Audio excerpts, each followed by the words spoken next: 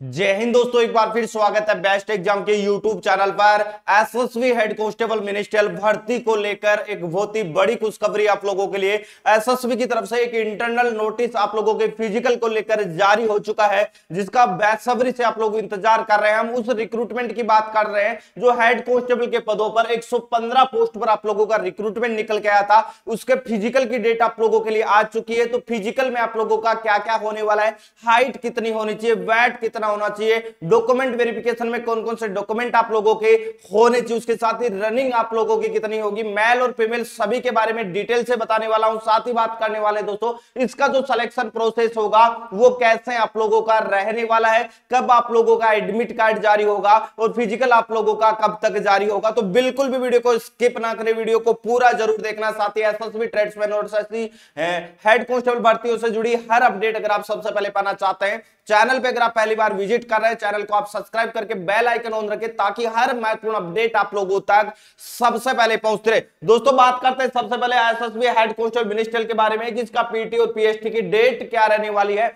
कब आप लोगों का एडमिट कार्ड आएगा। ऐसा दोस्तों, बीएसएफ ट्रेडमैन वाले बच्चों के साथ में भी हुआ था। उनके फ़िज़िकल से मात्र पंद्रह दिन पहले उन्हें बताया गया कि आपका फ़िज़िकल होने वाला है और बहुत सारे बच्चों ने तैयारी भी शुरू नहीं की थी और अब उनका फ़िज़िकल होने जा रहा है। तो आप लोगों को अभी से तैयारी शुरू कर देनी है भाई। हेड कांस्टेबल एसएसबी में फ़िज़िकल में आप लोगों की रैस भी होने वाली है। तो स्टेप बाय स्टेप में पूरी जानकारी आपको डिटेल से बताऊँ, उससे पहले आपको एक महत्वपूर्ण जानकारी बता देता हूँ। अगर आप एसएसबी ट्रेड्समैन हेड कांस्टेबल या ड्राइवर की तैयारी कर रहे हैं तो आप लोगों के लिए हमारा न्यू प्रेरी बैच आ चुका है। अगर आप सीआरपीएफ ट्रेड्समैन और ड्राइवर की तैयारी करना चाहते हैं तो सीआरपीएफ के लिए हमारा एक टारगेटेड बैच फौजी बैच आ चुका है। अगर आप बीएसएफ ट्रेड्समैन की तैयारी करना चाहते हैं तो आप लोगों के लिए हमारा वर्दी बैच आ चुका है। अगर आप सीआईएसएफ ट्रेड्समैन का अगर आपने फ़िज़िकल पास कर रखा है new AK forty seven batch आप लोगों के लिए आ चुका है और अभी चल रहा है सभी बैचों पर, भारी ऑफ़र, एक ही बैच से आप सभी ट्रेडमैन के एग्ज़ाम करेक्ट कर सकते हैं।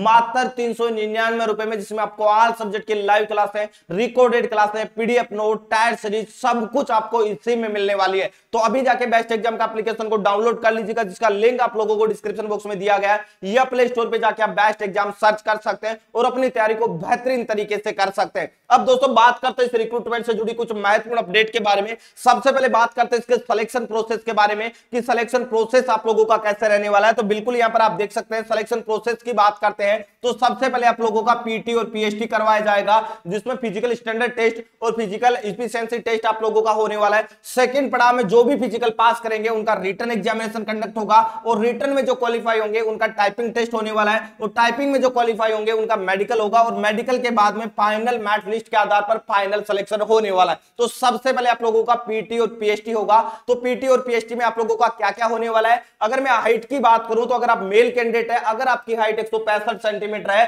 तो आप इस भर्ती में आराम से सिलेक्शन ले सकते हैं। हाइट में काफ़ी ज़्यादा छूट मिलती है, आप सभी को पता है हेड कोस्टल मिनिस्ट्रियल में। अगर आप फीमेल कैंडिडेट हो तो मिनिमम हाइट आपकी 155 सेंटीमीटर होनी चाहिए। चेस्ट की बात करूँ मैं मेल कैंडिडेट की तो नॉर्मली आपका जो चेस्ट है, वो स्वतंत्र से लेकर बयासी सेंटीमीटर के बीच में होना चाहिए। इसके बाद में अगर बात करता हूँ करता हूँ दोस्तों रनिंग के बारे में तो मेल कैंडिडेट के लिए जो रनिंग होगी वो 1600 मीटर की यहाँ पर होने वाली है, जिसमें आपको समय मिलेगा 6 मिनट और 30 सेकंड का। समय आप लोगों को पूरा मिलने वाला है। रनिंग आप लोगों की ग्राउंड में होगी। कई जगह पर सड़क पे भी आपको दौड़ने को मिल सकता है। चिप लगा के आप लोगों से दौड़ करवाई जाएगी। अगर आप फीमेल कैंडिडेट है तो आपके लिए जो रेस होगी, वो 800 मीटर की होगी। और इस 800 मीटर रेस के लिए आपको समय मिलने वाला है। वो मिलने वाला है चार मिनट का। तो ये आप लोगों का पीटी और पीएसटी में यहाँ पर होने वाला इसके अलावा डॉक्यूमेंट वेरिफिकेशन की मैं बात करूँ डॉक्यूमेंटेशन की बात करूँ तो आपके पास में होनी चाहिए भाई टेंथ की मार्कशीट आप लोगों को साथ में लेके जानी है। साथ में आपका रिक्रूटमेंट है, वो ट्वेल्थ पास का है ट्वेल्थ पास की मार्कशीट होनी चाहिए। उसके साथ ही जितने भी कैंडिडेट है, वो अपना डोमिसाइल सर्टिफिकेट जिसे मूल निवास प्रमाण पत्र कहते हैं, कुछ राज्यों में पीआरसी भी बोला जाता है।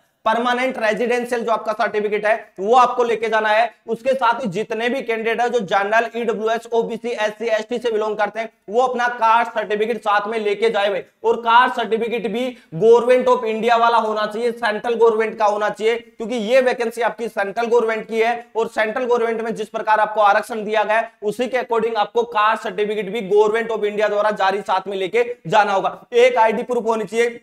कम से कम दो से तीन आपके पास में पासपोर्ट साइज़ फ़ोटो होनी चाहिए। इतने डॉक्यूमेंट आप साथ में लेके जा रहे हैं तो 100 परसेंट आप फ़िज़िकल में क्वालिफाई हो जाएँगे। अब यहाँ पर बात करते हैं फ़िज़िकल कब से शुरू होगा, क्योंकि दोस्तों एक इंटरनल नोटिस है जो कि एसएसबी की तरफ़ से जारी किया गया है, और जिसमें कहा गया है कि मई लास्ट में हम फ़िज़िकल है, वो शुरू करवा सकते हैं। तो मई लास्ट आप लोगों के लिए इंपॉर्टेंट है। हो सकता है आपका जो फ़िज़िकल है वो जून में भी चला जाए, जून के फ़र्स्ट वीक में, लेकिन मई लास्ट तक आप लोगों को एडमिट कार्ड देखने को मिल जाएँगे। तो अगर आपने अभी तक फ़िज़िकल की तैयारी शुरू नहीं की है। फ़िज़िकल की तैयारी आप लोग शुरू कर दीजिएगा। बेहतरीन मौका आप लोगों के लिए, क्योंकि सारे रिक्रूटमेंट आप लोगों के लिए आ चुके हैं। सभी फोर्सेज में हेड कॉन्स्टेबल हो, चाहे ट्रेडमैन हो, सभी के रिक्रूटमेंट आ चुके हैं। और जो बच्चा फ़िज़िकल पास करके रिटर्न की बेहतरीन तरीके से तैयारी कर लेगा, वो एक नहीं, दो नहीं, तीन तीन भर्तियों में उनका सिलेक्शन होने वाला इसके अलावा दोस्तों एसएसबी भर्ती से जुड़ा आप लोगों का कोई भी डाउट है, बिल्कुल आप कमेंट बॉक्स में कमेंट करके आप हमें ज़रूर बताएगा दोस्तों स्टूडियो में इतना ही। मिलेंगे नेक्स्ट वीडियो में एक नई अपडेट के साथ में। तब तक के लिए जय हिंद। जय भारत।